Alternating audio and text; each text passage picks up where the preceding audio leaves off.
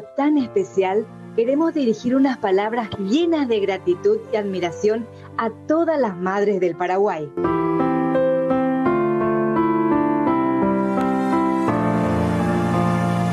Padres, ustedes son el corazón palpitante de cada familia, la luz que irradia amor y la fuerza que sostiene cada paso que damos.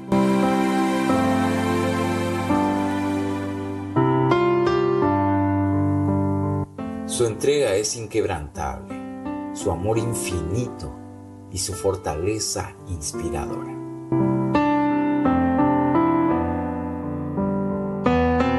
Gracias por cada abrazo reconfortante, por cada beso sanador y por cada palabra de aliento que nos brindan. Madres, ustedes son el refugio seguro en medio de la tormenta, la voz que impulsa a seguir adelante y la mano que nunca suelta.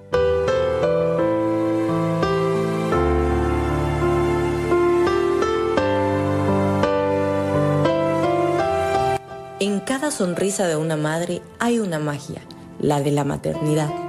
Y en cada sacrificio hay un poder, el del amor incondicional.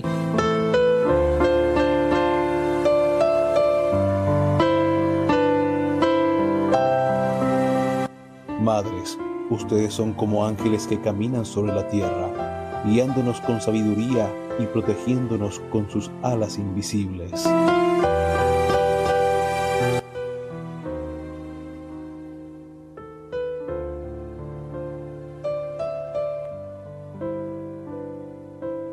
En este día tan especial queremos honrar ese amor incondicional, esa fuerza imparable y esa dedicación infinita de nuestras madres.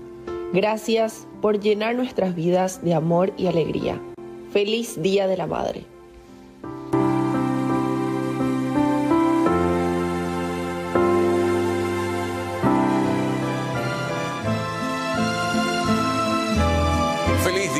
Para todas las madres y especialmente para todas las que forman parte de este equipo de Sur TV y saludamos también a través de esta señal a todas las madres en su día, un día muy especial y donde desde este espacio, desde este informativo que nos permite conectarnos con todo el país, enviar un año a Guasún, Bareteponay, un te quiero grande, un Orojaipú a cada una de las madres en este día.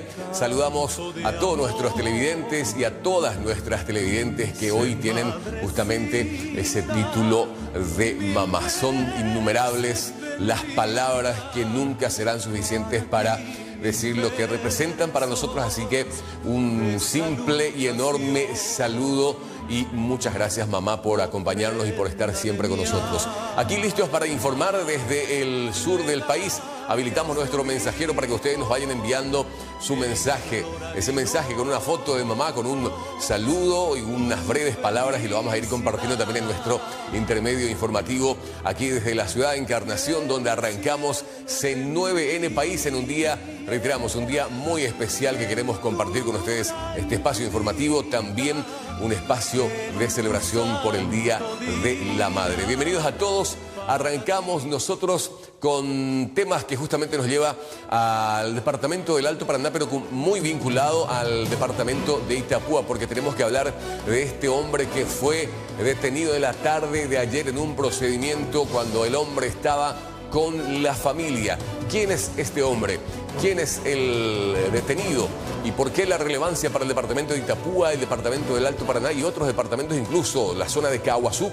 Porque sería este el hombre considerado el presunto líder de la banda de criminales que ha cometido varios hechos de atracos aquí en el departamento de Itapúa, zona de Caguazú, también lo vinculan con grupos que han hecho este asalto a empresas de encomiendas y los últimos hechos registrados a entidades bancarias en el departamento de Itapúa, como es el caso de Yatitaí, donde se habían llevado un cajero automático del patio de la comisaría y el último hecho de asalto que ocurrió en una entidad bancaria, en imágenes que estamos compartiendo justamente de la zona de Natal y donde se llevaron nada más y nada menos que con uso de explosivos, cantidad de armas, se habían llevado una bóveda. Compartimos detalles de lo que ha sido este trabajo en conjunto de la Policía Nacional, del Departamento de Investigaciones de Alto Paraná e Itapúa para dar con este, reiteramos, presunto líder de asalta cajeros. Nosotros es el principal ideólogo de este grupo criminal que cometió ya varios hechos aquí en el departamento del Alto Paraná, también en otra zona del país. O sea, no solamente eh, lo relacionado a Itapúa, también cometió hechos aquí. Sí, esa es eh, dentro de la línea investigativa le encontramos a él como el ideólogo y el cabecilla en este caso del grupo. Eh, también formaría parte de lo que ya fueron detenidos en, la vez pasada en Mallorquín. Sí, sería, él es uno de los, del, cabecilla en este caso del grupo. ¿De quién se trata? ¿Tiene antecedentes? Es una persona de nombre Atanasio Benítez, él cuenta con frondosos antecedentes y para nosotros es un procedimiento altamente positivo para continuar con nuestra investigación. ¿En esta casa él estaba viviendo solo? ¿Es un alquiler? que En realidad esta persona eh, llegó recién el día de hoy. Eh, estuvo oculto en este lugar y las fuerzas policiales acompañadas del fiscal eh, procedimos al allanamiento y lo ubicamos en este lugar. Probablemente lo estaban siguiendo y entonces llegó hasta este punto. Sí, es así, así mismo. Estaba solo. Se encontraba en compañía de, otra persona que también fue demorado y en este momento ya fueron trasladados hasta este, el Departamento de Investigaciones. Comisario, hasta el momento, ¿cuántas personas ya aproximadamente ya se les detuvo de esta banda, ya como, como decías, altamente positiva la acción policial? Bueno, en este caso tenemos ya cuatro personas detenidas, dos abatidas y ya le tenemos identificado a, si no a todos, a, la mayoría de los que integran este grupo delictivo. Bien, parte de lo que manifestaban los intervinientes en la jornada de ayer. Este hombre estaba compartiendo con la familia, aparentemente reside en la capital del país. Barrio San Isidro, zona del Alto Paraná. El hombre al que lo vinculan como líder y cabecilla de esta agrupación criminal que ha encestado varios golpes aquí en el departamento de Itapúa y también zona del, Alto Paraná. Y continuamos, Lucas, justamente en esa zona porque tenemos que hablar también de otra aprehensión y detención importante. Exactamente, un supuesto miembro del PCC que fue detenido tras un procedimiento bastante importante importante que se realizaba en el Alto Paraná. Estamos observando justamente imágenes de este procedimiento, la captura de un brasileño y miembro, según la policía, del primer comando de capital que utilizó un nombre falso de Guillermo Enrique Nepomuceno o Nepomuceno, integrante del PCC, que fue detenido tras intentar asesinar a su compañero de facultad. Esto es lo que manejan las autoridades quienes atraparon a este brasileño con varias órdenes de capturas, antecedentes también por diferentes delitos en su país de origen. El prófugo fingía ser estudiante de medicina para no levantar sospechas en nuestro país. El fin de semana pasado la Policía Nacional reportó un intento de homicidio de un estudiante brasileño de medicina por parte de un compatriota que irrumpió en su inclinato armado con un revólver cargado a tope. Los intervinientes lograron capturar al sospechoso, quien al momento de su aprehensión no contaba con documentos de identidad, pero mencionó que se identificó como Bernat Cabral Pires. En este caso, tras el cruzamiento de datos a través del comando tripartito, se confirmó la identidad real de este hombre, de Guillermo Enrique Nepomuceno, de 31 años, quien posee cinco órdenes de capturas pendientes en Brasil y antecedentes por robo, homicidio y tráfico de drogas, según los agentes policiales. Vamos a compartir una nota. Hablábamos de cinco órdenes de detención, pero ¿cuántos procesos judiciales? Ese cinco podíamos multiplicarlo por 10. Veamos.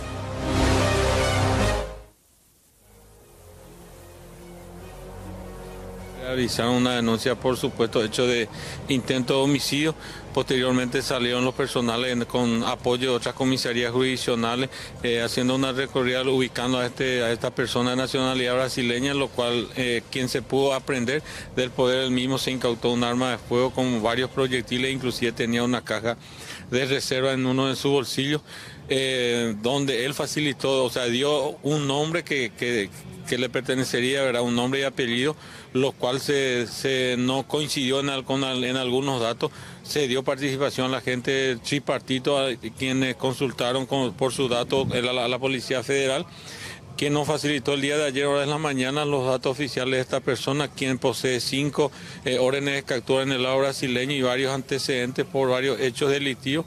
Eh, de los cuales tiene dos capturas por homicidio, robo agravado, tráfico de armas en el lado brasileño. Comisario, él eh, supuestamente fungía de estudiante eh, de medicina en el Paraguay. Sí, esto estamos averiguando ya que el denunciante era, eh, eran dos personas brasileñas que se identificaron que estaba haciendo estudios en una facultad acá en la carrera de medicina.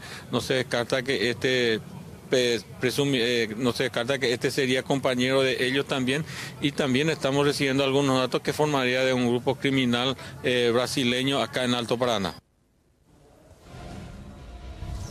Vamos hasta la zona de Villa Elisa.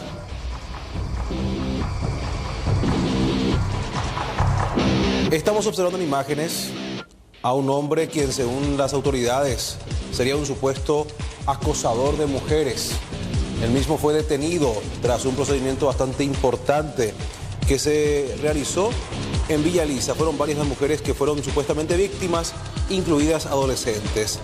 Este hombre que presuntamente tenía un modus operandi de estacionar su auto, llamar a las mujeres para poder preguntarles la dirección de un lugar y luego proceder a masturbarse frente a las mismas. Son los datos que están manejando justamente las autoridades con relación a este hombre quien, según el comisario Hugo Velázquez, en este caso son varios elementos que lo vinculan con estas denuncias. Escuchemos justamente lo que decía el comisario Hugo Velázquez.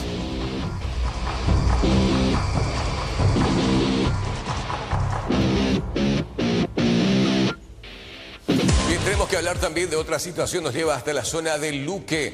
Situación de damnificados que sabemos en gran parte del territorio nacional se viene dando esta asistencia. En esta oportunidad también se llegaron hasta Luque, donde una gran cantidad de personas que fueron afectadas recibieron donaciones y esto es algo positivo teniendo en cuenta la necesidad y por supuesto la situación de carencia en muchos lugares después de la lluvia que se ha registrado en gran parte del territorio nacional. Esta oportunidad llegaron hasta la zona de Luque y llegaron con asistencias para estas familias.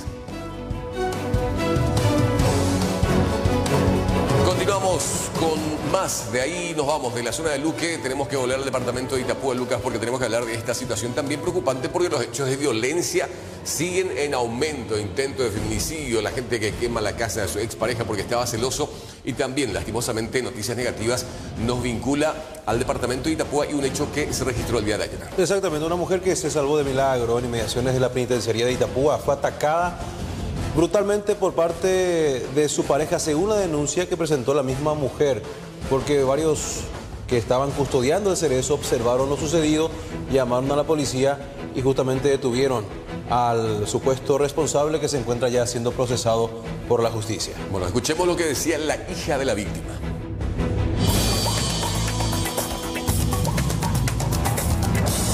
Hugo René Martínez, de 50 años, es el sindicado como responsable de esta brutal golpiza donde fue víctima su pareja.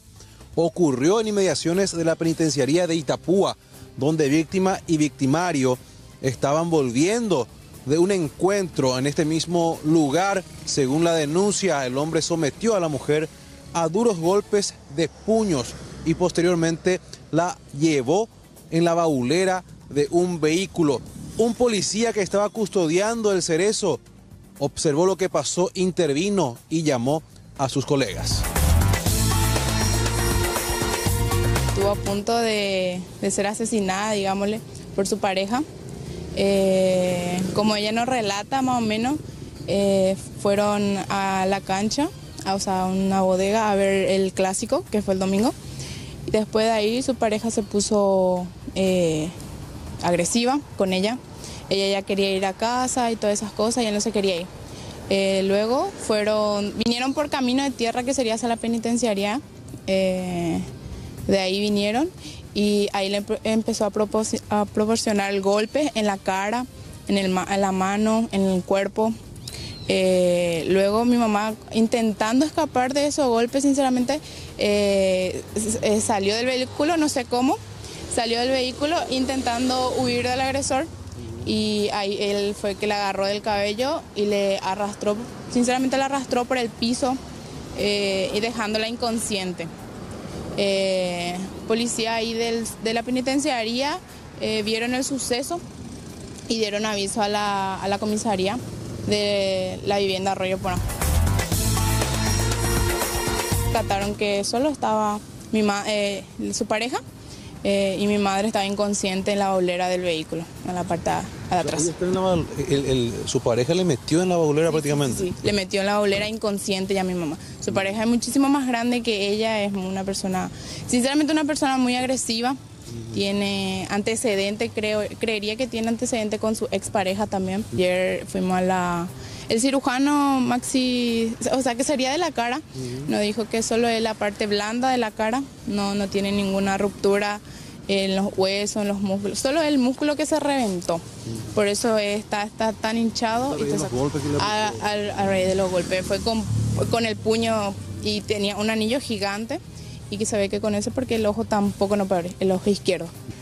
El hombre quedó detenido. Los familiares de la mujer temen lo peor ya que desde la comisaría incluso este hombre le había amenazado nuevamente a la víctima, quien se encuentra choqueada piden que se haga justicia y que este hombre sea procesado como corresponde por parte de la justicia. De Campinetal, departamento de Itapúa, nos vamos hasta la zona de Curuguatí. Lastimosamente se habla de este lugar donde una criatura de solo un año perdió la vida. Se investiga cómo habría ocurrido. Incluso se procedió a la exhumación del cuerpo de esta pequeña criaturita de solo un año que lastimosamente perdió la vida en este pozo que veíamos en imágenes.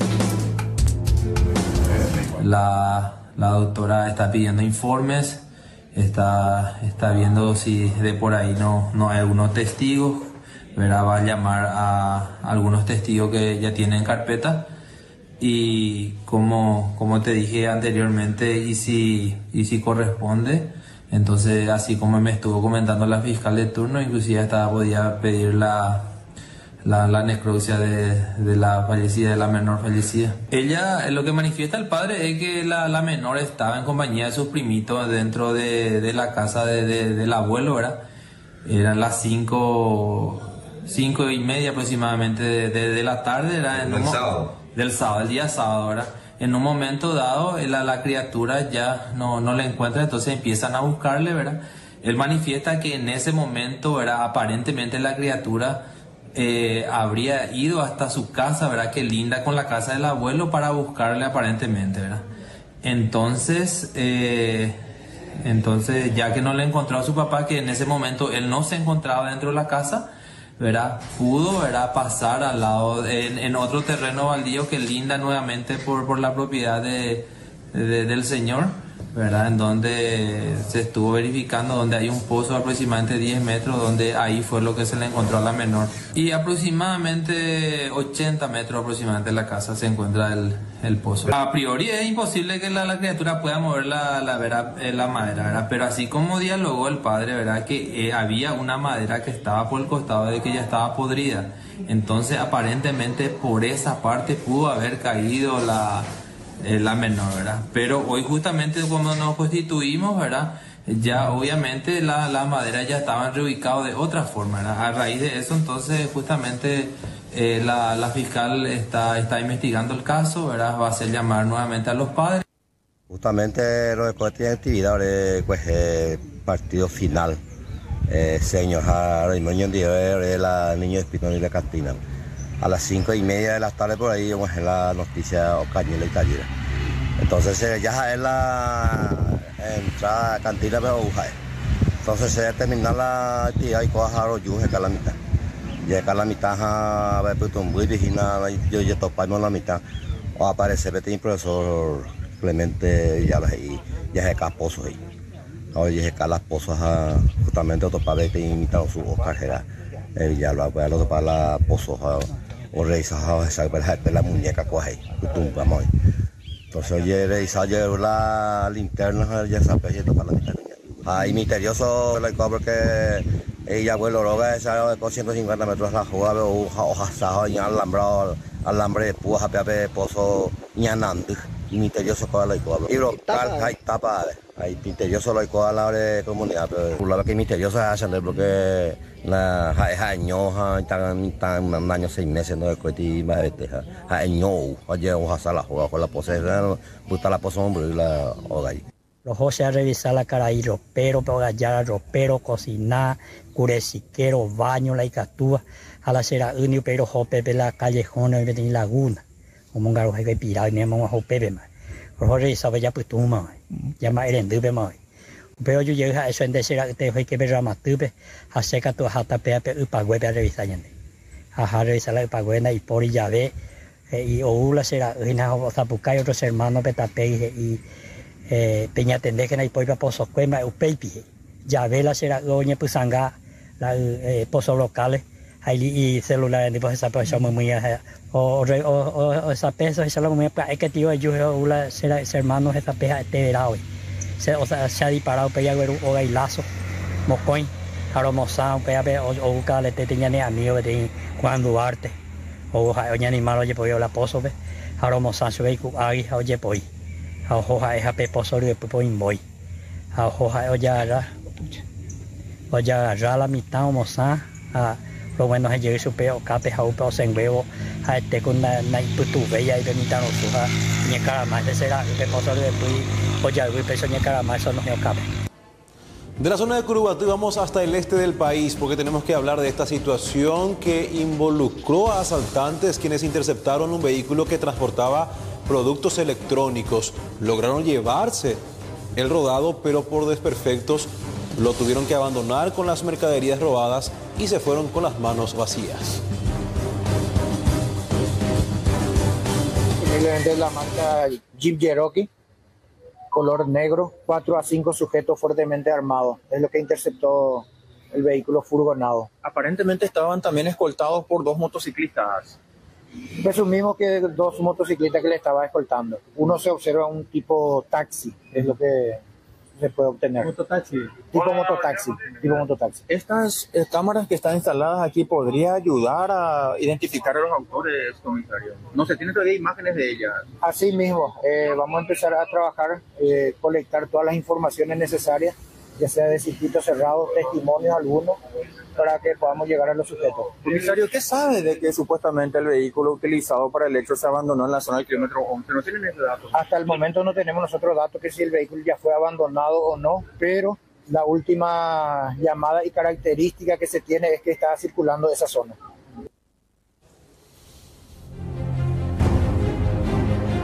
Ya en instante estamos también con el desarrollo de otras eh, informaciones. En esta oportunidad tenemos que hablar de un hecho que preocupa, porque hablamos de hombres que balearon una vivienda. Ya enseguida tendremos los detalles de este hecho que ocurrió también aquí en el departamento de Itapúa. Agradecemos a nuestra teleaudiencia que nos están acompañando en esta mañana. Ahí nos imaginamos ya previo al almuerzo de esa celebración con mamá, queremos compartir algunos breves mensajes que nos están enviando nuestros televidentes desde diferentes puntos. Y si nos reportan desde dónde nos acompañan, queremos también saludar a Miriam Zafuán de parte de Sadi Villa Aurelia. Muchísimas gracias y saludos a la mamá Guazú de esta televidente.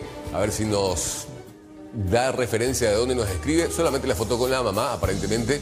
Otros saludos también. Buenos días, saludos y feliz día abuela y mamá. Ahí aparece la foto de la gente que nos van reportando audiencia en esta parte de la mañana. Feliz Día de las Madres para Felipa Ucedo, de parte de todos los nietos. Doña Felipa Teresa por Aitiqueco Árabe. Otro mensaje y después nos vamos a, al desarrollo de más materiales. También buenos días. Un saludo especial para la señora Cintia Ovelar desde Ciudad del Este de la zona del Alto Paraná también saludos y gracias por acompañarnos y por estar con nosotros en este momento tan especial donde estamos haciendo este espacio informativo en el Día de Todas las Madres. Siempre poco será.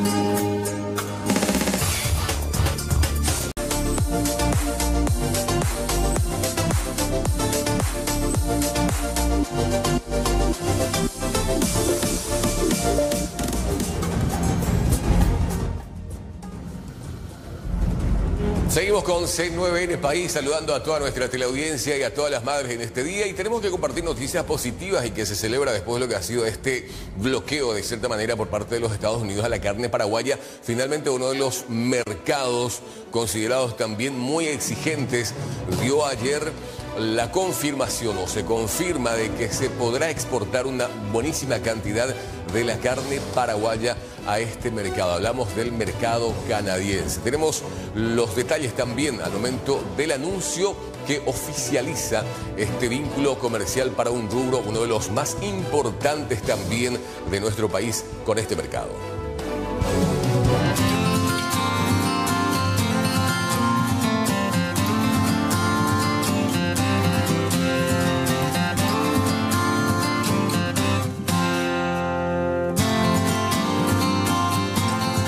Eh, Canadá, así como Estados Unidos, cuando comenzamos a trabajar, Canadá está, se sitúa entre los 10 principales exportadores, importadores de carne. Entonces, es volumen también muy similar al, al mercado americano, entendiendo que eh, son alrededor de 40 millones de personas.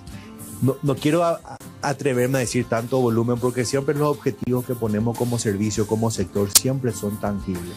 Estados Unidos es el segundo importador de carne más grande del mundo y nuestro objetivo fueron, fue este año 10.000 toneladas.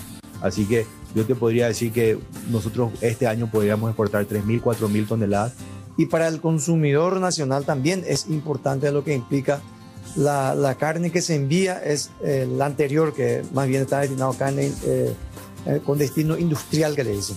Entonces lo que nosotros consumimos eso nos va a permitir mayor oferta de carne acá en nuestro país y que muy al contrario de lo que a veces se piensa cuando más apertura de mercado eh, tenemos, pueda subir el precio de la carne. Al revés, eh, esto nos va a permitir tener mayor oferta de carne acá en nuestro país. O sea que para todos, en todos los sentidos, esto nos conviene al sector carne, a la rural, al productor, que puedan tener la oportunidad de comercializar más países y para acá, para el consumidor nacional, tener más oferta de carne. O sea,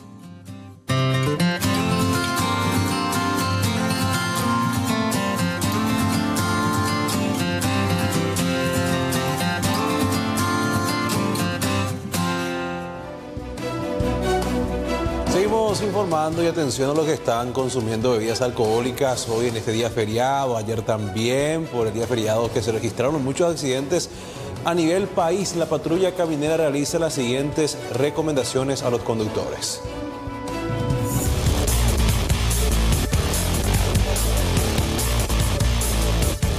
Se ha registrado un récord de accidentes viales fatales, según el reporte de la patrulla caminera, y además instan a tener mucho cuidado en estos días de baja temperatura, de humedad, donde se está formando neblina en algunos cruces importantes de las rutas del país, por lo que instan a tomar estas recomendaciones una cantidad de 40 siniestros viales, de los cuales 16 sin desgracia, quiere decir que solamente hubo daños materiales, 12 con desgracia y 12 fatales, en donde hubieron 13 fallecidos en total. Eh, también esto a nivel país de la semana comp comprendida del 5 al 11 de mayo.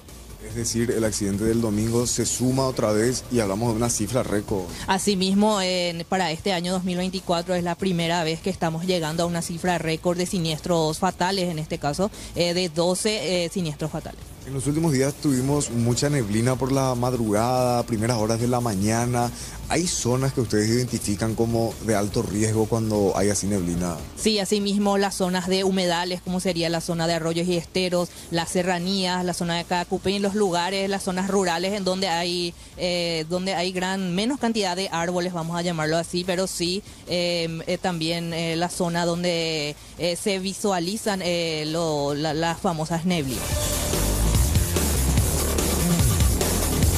Tener en cuenta siempre eh, eh, reducir la velocidad en la cual se está circulando, ya que no sabemos qué viene del otro, del otro lado. También evitar los adelantamientos indebidos debido a la corta, a la corta visibilidad. Y como así también si es posible encender la luz, la famosa luz de stop, para ser más visible en ruta. Mantener el carril. Asimismo, mantener el carril eh, correspondiente de circulación y también, como mencioné, evitar los adelantamientos indebidos en los lugares donde hay baja visibilidad. En vista al feriado que tenemos en puerta y además, por supuesto, del desplazamiento de personas que abran las rutas nacionales del país, la patrulla caminera anuncia que estará presente acompañando, dirigiendo y asistiendo ante cualquier eventualidad en el tránsito y ya también se tiene todo previsto para el operativo retorno el próximo 15 de mayo a partir de las 3 de la tarde. La presencia de más de 250 inspectores en diferentes puntos estratégicos para garantizar que ese retorno se dé de la manera más ágil posible.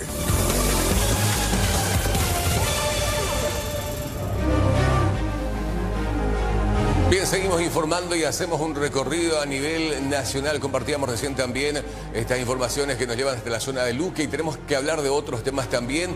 En esta oportunidad, la situación que nos lleva hasta este sector. Hablamos de Villarrica, una zona donde se está trabajando con los que están en las penitenciarías, permitiendo una imagen diferente, porque lastimosamente sabemos que las cárceles de nuestro país eh, hoy están, aparte de abarrotados de, presos, una superpoblación, la mayor parte de las veces el que va termina el, el proceso de estar privado de libertad, incluso conociendo mucho más de las artes delincuenciales, por decir así. Sin embargo, se busca hoy una visión diferente. Se está trabajando en programas de rehabilitación. En esta oportunidad, este mismo programa fue presentado en la zona del Guairá, en la, en la zona o en el departamento del Guairá, en Villarrica,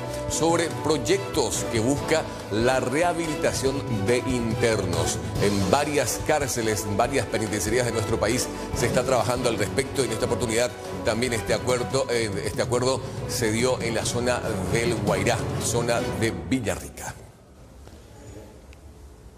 Vamos a la zona de San Lorenzo con esta situación donde fue protagonista un agente lince. Esta vez no fue noticia por la detención de alguien, sino que porque cayó a un pozo ciego, exactamente en San Lorenzo.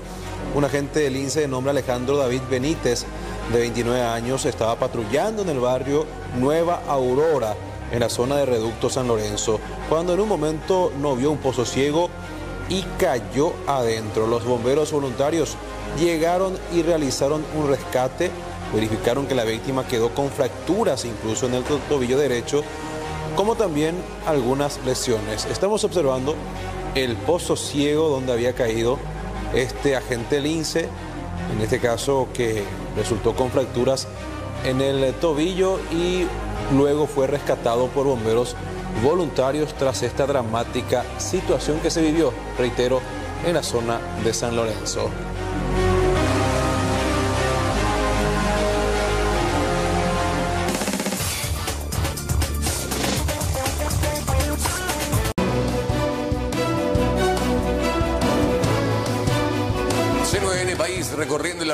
Del Paraguay con esta jornada donde saludamos a todas las madres. Lastimosamente tenemos que hablar de situaciones y... ¿Y situaciones? Y situaciones que asustan, Lucas. Sí. Quiero que prestes atención a estas imágenes de circuito cerrado. Y no sé si tiene audio ambiente, compañeros. ¿Tiene audio ambiente? Escuchemos un poco. Quiero que escuches algo, Jorge.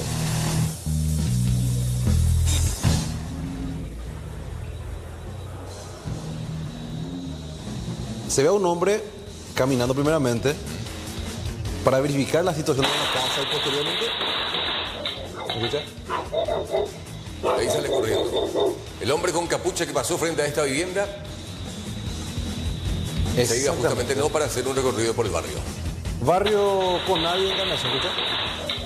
Son disparos de arma de fuego, el mismo verificó la vivienda, posteriormente disparó en varias ocasiones rompiendo el vidrio de la casa, posteriormente también el de un automóvil que se encontraba estacionado, ahí está el automóvil que estamos observando en imágenes en la esquinita de la cámara de seguridad que captó al menos las características de este hombre. ¿Cuál es el trasfondo de esta historia?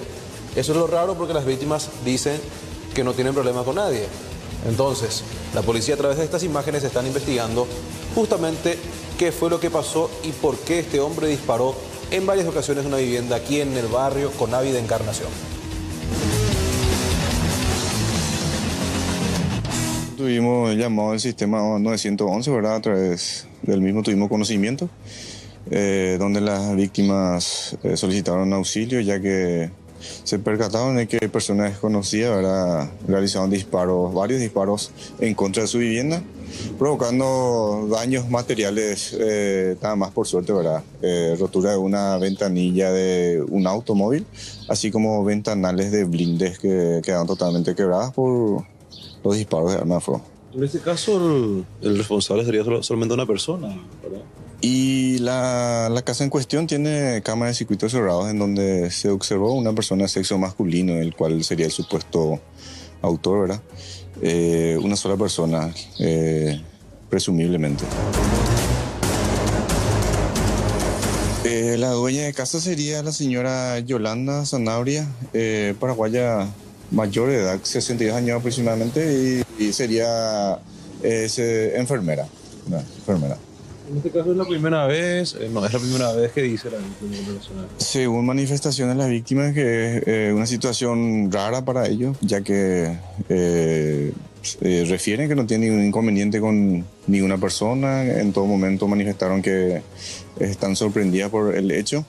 Además que ya sería la tercera vez que esta vuelta fue lo que provocaron daños materiales en su vivienda, por lo que quedaron más asustadas. Pero Bien, situación que se da aquí en la ciudad de Encarnación y nos quedamos para algo más positivo porque ayer también, como en varias partes de la República del Paraguay, se dio este desfile homenaje a la patria, se dio de una forma también muy particular y muy especial aquí en la ciudad, teniendo en cuenta que se dio una participación, más de 30, casi 35 mil participantes en el centro cívico de la ciudad y donde también se dio la presencia de los de la milicia que son del Comisode, que hicieron justamente la apertura de este gran desfile. Compartimos parte de lo que se dio también en el sur del país, un homenaje a la patria el día de ayer.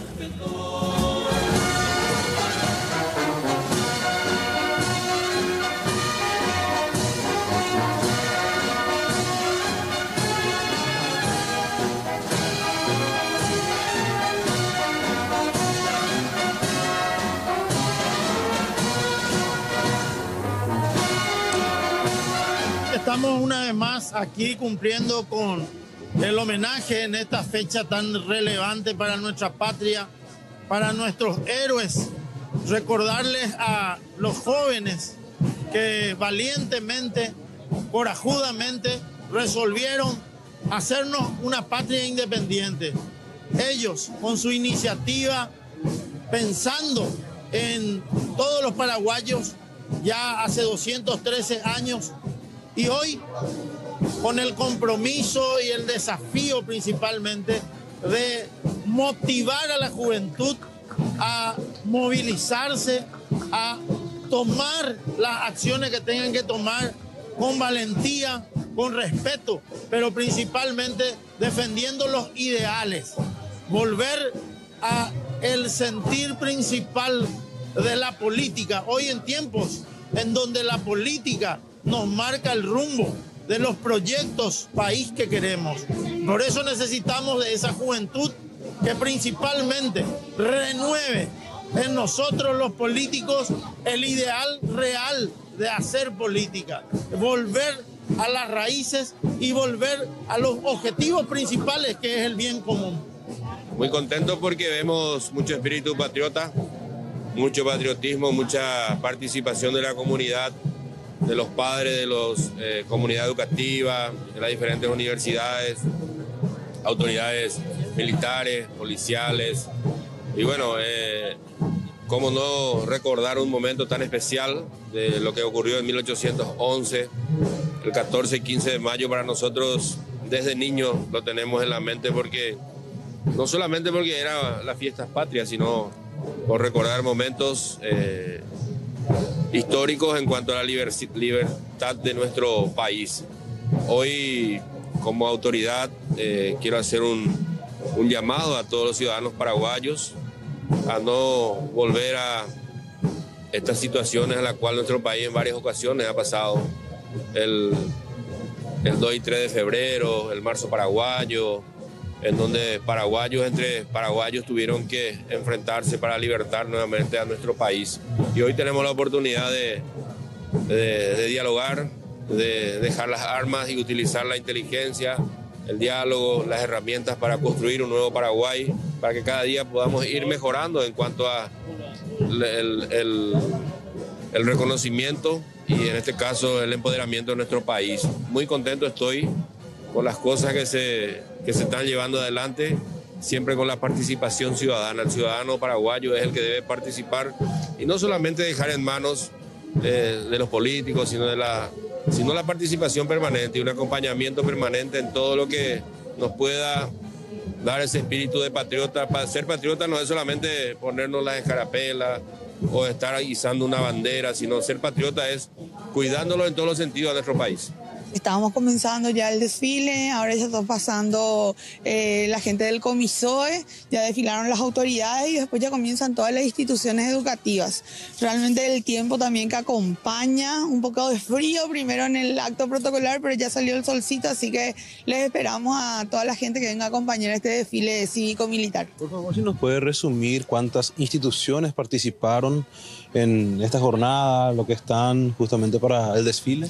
Sí, eh, tenemos casi 80 instituciones en el orden, pero hay que entender que de repente hay instituciones que tienen varias dependencias, como el caso de la municipalidad, que tiene un número de orden, pero son varias dependencias, ¿verdad?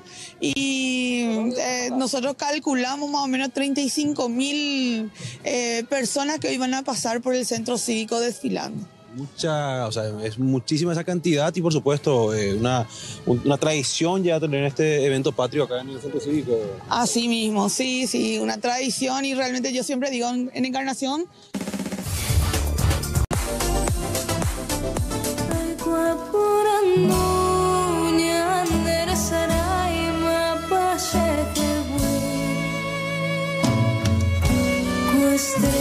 Saludamos a todas las madres en este día, saludamos a las que tienen la posibilidad justamente de estar ya hoy reunido con sus hijos, con sus familiares para poder tener una celebración especial y agradecemos a la gente que nos están enviando sus mensajes, una gran cantidad de nuestros televidentes que se reportaron a través de nuestro mensaje. Exactamente. Saludos para nuestra mami Cloti de San Lorenzo. Dice este mensaje con esta foto adjunta también. Le saludamos muy cordialmente a la gente de San Lorenzo, en especial a esta familia. Otro mensaje dice feliz día para mi mamá. A ver si nos firma, no nos firmó, ahora pues ya estamos viendo la foto y le enviamos el cordial saludo también a esta mami. Bien, agradecemos a todos nuestros televidentes por los mensajes. Ya tenemos que ir al señor Jorge Esteche. El- a él le conocen como el desapará de la pantalla del país. Ah, yo pensé que de otra forma. ¿Cómo le dicen? No, después no. No se puede. decir, Su nombre de pila. Sí. Sí, exactamente. Su nombre de pila. Justamente hay una pila que tiene una imagen de. Ejé, exactamente. ¿Te acordás? Ese sería. Ah, ya, ya. no. Yo, le- yo le, le presento como el desapará de la pantalla del, sur, eh, del, del país nomás. Jorge Esteche, ¿cómo estás? Muy buenos días. Gusto saludarte aquí desde la ciudad de Encarnación. Casi dijimos que te dicen. No, no. Ahí ahí no. Jorge, ¿qué tal? Buen día. Ambas, hay que llegar potas, hay que llamarle las cosas como son. A mí me dicen gato y yo lo recibo con mucho gusto, así que no se preocupen. Un gusto, mi querido Lucas, mi querido George. Ah, ok. a sus respectivas madres y a todas las madres itapuenses.